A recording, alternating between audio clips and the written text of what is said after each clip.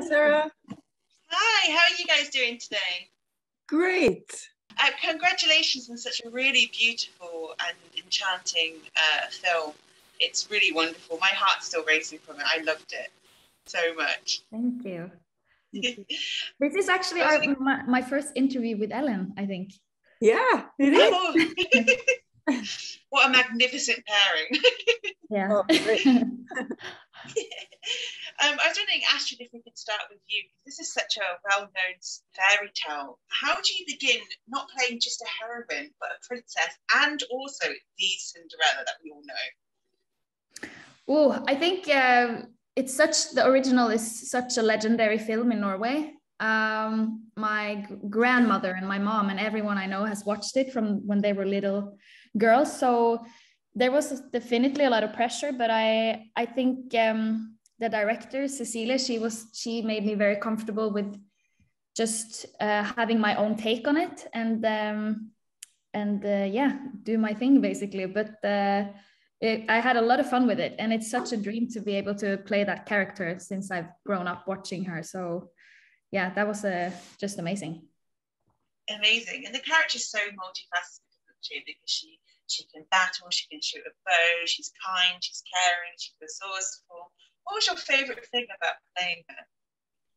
Oh, I think, well, I really enjoyed um, the horse riding.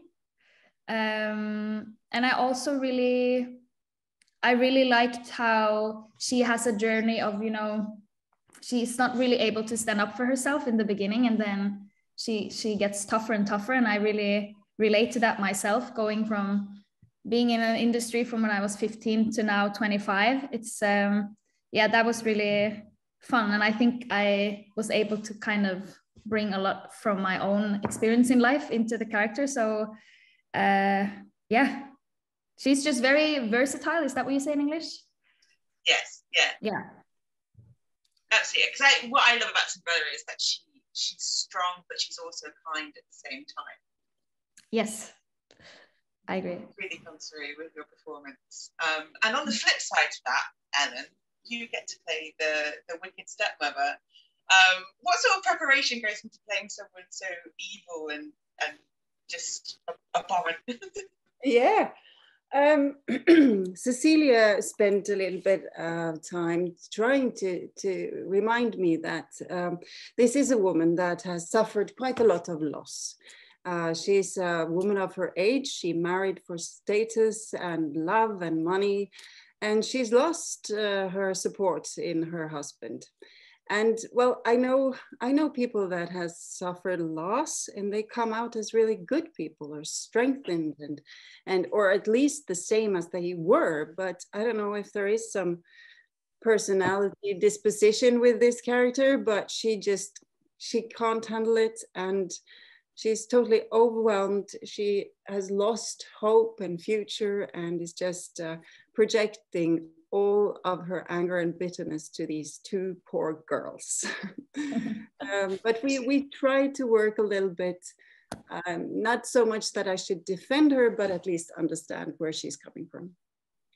I, I think you do it really well because I wrote down that there's clear desperation coming yeah. from her to kind of succeed, which really comes through yeah that that's quite describing for how i felt. Yeah. Yeah.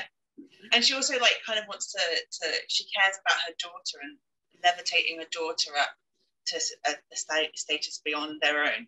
Yeah yeah. She's projecting her ambitions to next generation. Yeah.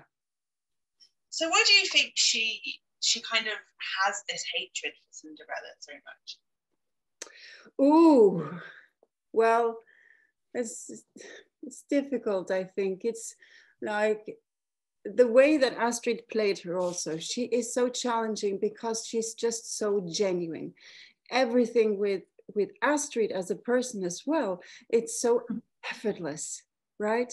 And so she she brings this into the cinderella and that, i think for people that is struggling that is just too hard to watch. And uh, that some some people can just kind of yeah they, they're so genuine that they don't struggle.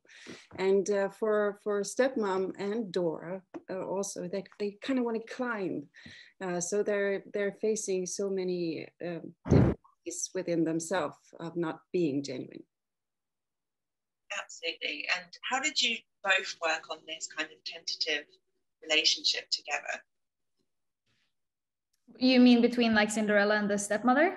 Yes yeah we we didn't have that many i don't know if we did anything um not that i remember other than just i don't know for me it was such so amazing to watch ellen work because this like she's one of the warmest nicest people i met and then she's just so terrifying when she's in character. So for me that was very helpful. I was i was genuinely scared of her when she got into character and the costume. So uh, um yeah that did the part for me, I think. But um, I don't know about you, Ellen.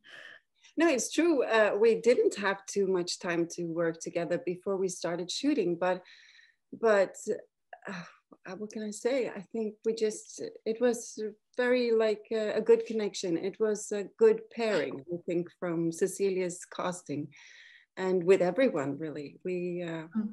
we matched well amazing. And it worked so well. And Astrid, you brought up a really good point. I was going to ask Ellen, the costume, your hair. Like I was like, this is so iconic. How was putting that on to play this role? For me? Or this? Uh, for Ellen. Oh, yeah, yeah. yeah. Uh, yeah, they, they built something that they put here and they took my hair around it. It took like an hour, I think. Um, it was I, I, was very very grateful for both the costume and the makeup. I think they have so much uh, well to, to be thanked for for creating um, so many of the characters in this movie. Mm. was your hair damaged after the yes. shooting? Yes. Yes. God. is it back to normal now? not quite.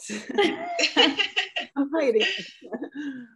Yeah um, and on that point, Astrid, I really my favorite costume of yours because you wear like quite a few, but my favorite costume is the man costume with the mustache. Oh yeah, and, and the outfit. How great was that? so much fun. We were um, fooling around with me when I got into that costume. How I look, kind of looked like one of the princess uh, friends, um, which was kind of hilarious. But uh, no, it was so much fun being able to like play around with the you know having a deeper voice and like trying to be one of the guys. I really enjoyed that. Amazing amazing. I just i was like yes i love mustaches like i love having them. I was like i just really wish. Yeah. Really jealous.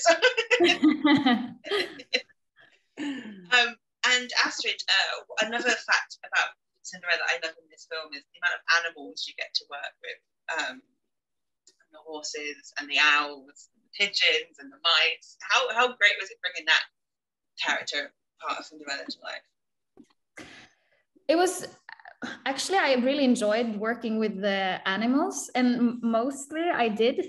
Uh, so it was very exciting for me by the end of shooting that I was able to actually play with human beings. But um, I remember some of the animals weren't, they were put in afterwards. So it was Cecilie, the director, she would like hide in a corner and like make animal noises for me to like feel like I was actually playing to someone, but usually it was just to the wall, uh, which was difficult. So I really enjoyed when I was actually able to like be with the, the rat or a horse.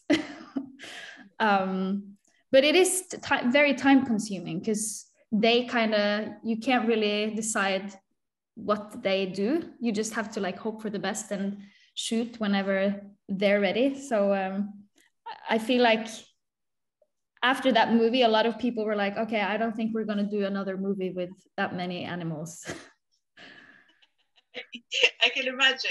They work with children and animals the same. So yes. um, so final question, a bit of a, a cheesy one, but um, for both of you, if you had a magical hazelnut to grant one wish, what would it be? And start with you, Ellen. Oh, I could choose anything. Anything you want, any wish.